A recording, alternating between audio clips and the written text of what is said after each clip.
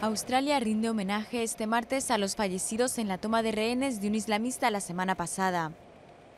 Tori Johnson, de 34 años, y Katrina Dawson, de 38, murieron durante el asalto policial a una cafetería de Sydney, donde un hombre de origen iraní y con pasado violento tenía secuestrados a 17 empleados y clientes.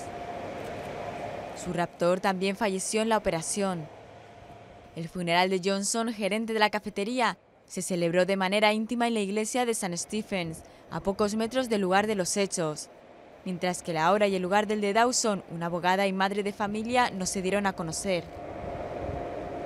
Aunque decenas de australianos fallecieron en los atentados del 11 de septiembre y en Bali en 2002 y 2005, hasta ahora no se habían producido estos traumas en territorio nacional. Por ello, el primer ministro Tony Abbott advirtió que la amenaza terrorista había aumentado tras la sangrienta toma de rehenes en Sydney y que un atentado es probable a más o menos corto plazo. Australia participa junto a Estados Unidos en la lucha contra el grupo Estado Islámico y en septiembre había elevado su nivel de alerta frente a la amenaza terrorista que representa a los yihadistas que regresan de Irak y Siria.